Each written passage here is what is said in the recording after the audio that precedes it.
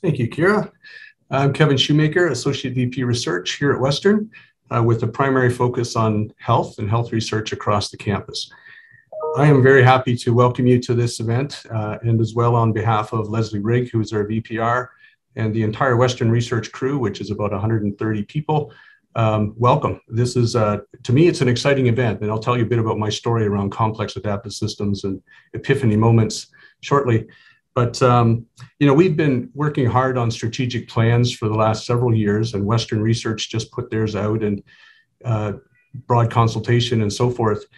Some of the things that we heard about uh, really apply well to this lab.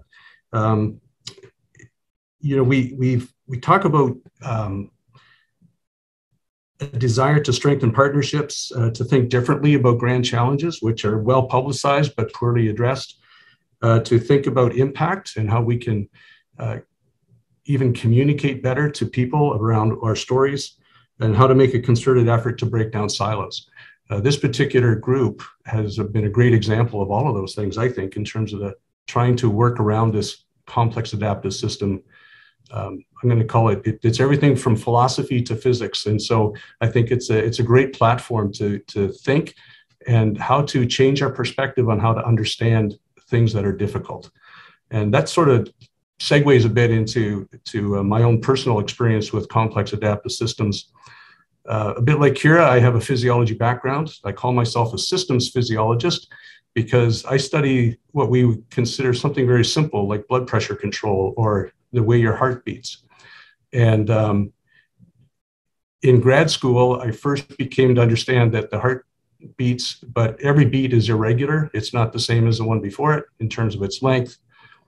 And the way that that happens, uh, it's very complicated. We've got feed forward and feedback neural loops. We've got uh, ion channels that work spontaneously, and some of them seem to be funny about it, uh, so they're called. We've got um, pressure-dependent changes in cell function within the cell, within the heart. Um, all of these things combine to create a complex series of heartbeats. The more complex it is, the healthier it is because it reflects on the number of inputs that the heart gets to keep it going. So these are redundant systems, they overlap, but they, they create a picture of where complexity is actually healthy. And when you start to lose that complexity, it's a sign that the redundant systems are failing. So it, when I started to learn that, I got really compelled by the idea of physiology and how you know, we call it how things work. Um, and that, that seems to have great application across a lot of, a lot of things that we think about socially, uh, biologically, and, and, even mentally. So I'm very intrigued by this whole concept, and I congratulate uh, James uh, for you and your, your team putting this lab together over the last two or three years.